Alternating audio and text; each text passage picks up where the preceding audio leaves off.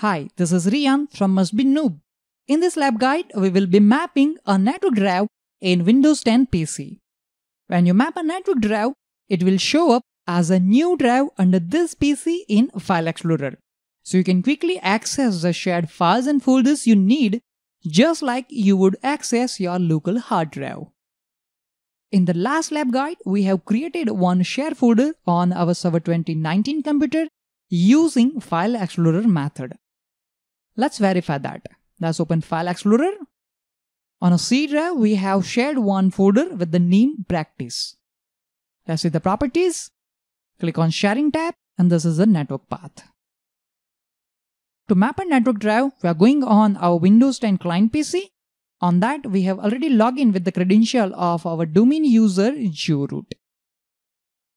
Whenever user want to access the share folder, he or she need to press Windows R key, specify UNC path and the name of your server, which is Server 2019 in our case. Let's press Enter key. And here user can see all the shared folders which are available on that uh, server. Okay, we want to create a map drive for this uh, a share folder. And for that, we're going to click on this PC.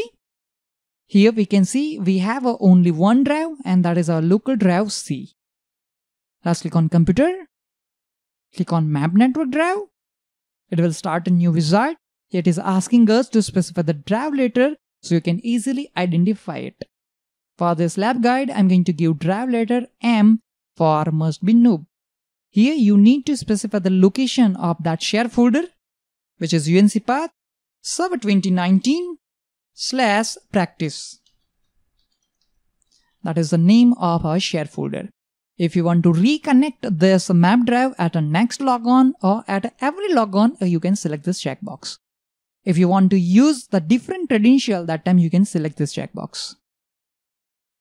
Click on finish